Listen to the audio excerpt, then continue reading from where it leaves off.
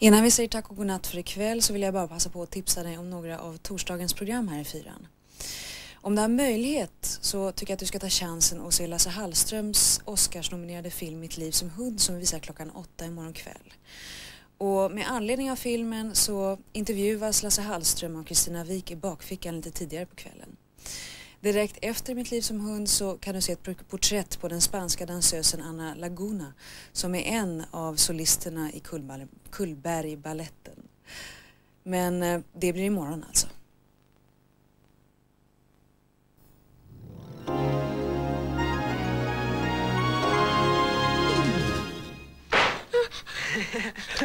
Upp nu!